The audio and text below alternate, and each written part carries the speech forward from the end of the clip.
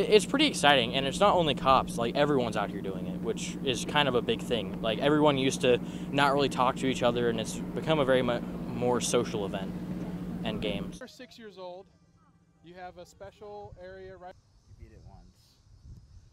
And then you'll just kill it instantly. yeah, you'll get 250 XP. Oh, mine's glitched out. Oh.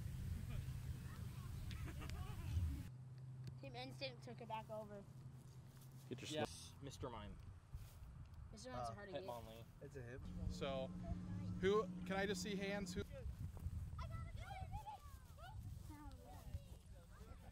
It's a Rattata.